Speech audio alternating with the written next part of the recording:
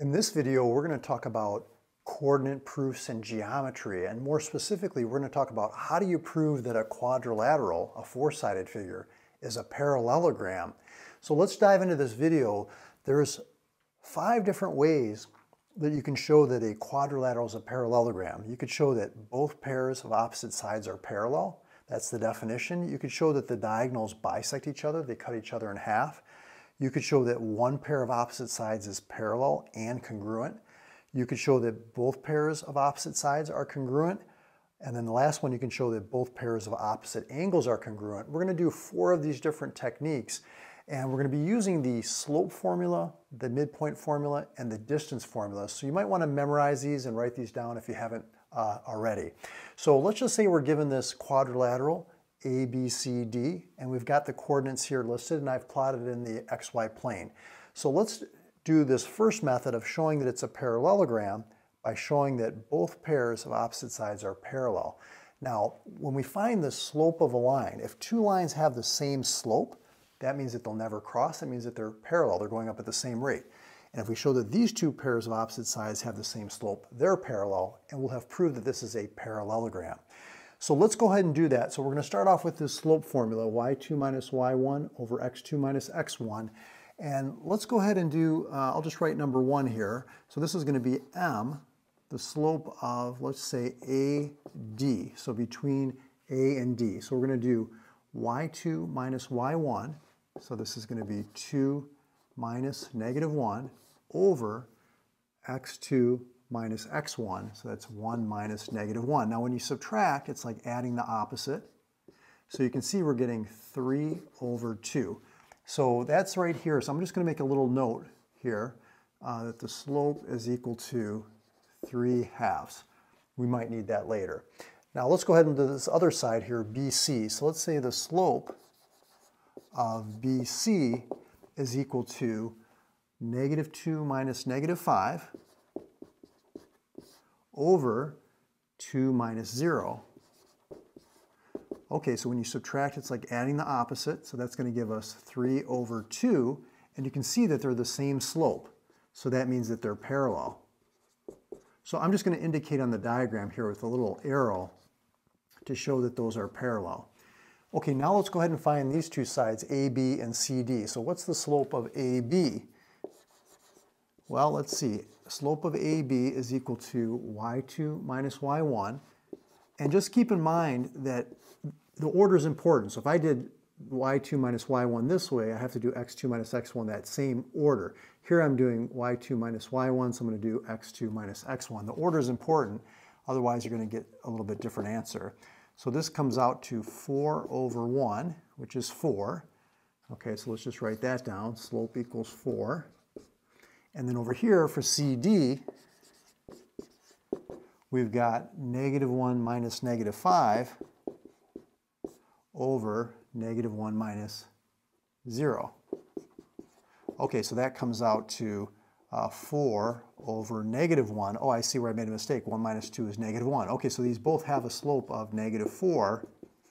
So that is interesting because they both have the same slope, so that means that these guys are going to be parallel to one another. And we proved that it was a parallelogram. So that was method number one, showing both pairs of opposite sides are parallel. Okay, so good. So let's go on to uh, example number two. Let's prove that this is a parallelogram by showing that the diagonals, they bisect each other. That means they cut each other in half. If they cut each other in half, that means that they're going through each other's midpoint, okay, one another's midpoint. So we're going to use the midpoint formula here, and we're going to use the midpoint of the opposite vertices. So what I'm going to do here is I'm going to say the midpoint of AC, and the midpoint, what we're doing is we're finding the average. So we're adding the x's together and dividing by 2, and we're adding the y's together and dividing by 2. So we have 1 plus 0 divided by 2 and we have 2 plus negative 5 divided by 2. And so that comes out to 1 half and negative 3 over 2. Now let's do the midpoint for uh, dB or BD, however you want to say that. BD. And so we're going to do the midpoint again. So we're going to say negative 1 plus 2 divided by 2 and negative 1 plus negative 2 divided by 2. And if we simplify that, let's see, we get 1 over 2 and negative 3 over 2. And you can see that these guys are the same, they match. So that means that they are bisecting each other. They're going through each other's midpoints. So that's method number two here, that we showed that it's a parallelogram because the diagonals, let's see if we can draw this here accurately, are bisecting each other. So let's see, is this one half, negative one and a half? Yeah, pretty close. Okay, my diagram's not perfect, but you got it. So let's go to the third example here. Let's show that one pair of opposite sides is parallel and congruent. Now, we've already established that, let's say these two sides here are parallel, but are they the same length? So here we're going to be using the distance formula to find the length of AD and the length of BC. So let's go ahead and do that. So we're going to do the distance of AD. And so here we're going to use the uh, square root, let's make a little room here, square root of the difference in the x coordinate squared plus the difference in the y coordinate squared, add those together and take the square root. So we've got 1 minus negative 1, which is 2 squared, and 2 minus negative 1, which is 3 squared. So that comes out to 4 plus 9, that's the square root of 13. So let's just write that down, square root of 13. And if we do the length of CD, we're going to do the distance of CD, same formula, it's uh, going to be, did I say CD? CB. CB, because we're doing the opposite side, showing those are congruent. So we have 2 minus 0, which is 2 squared, plus negative 2 minus negative 5, which is negative 3 squared.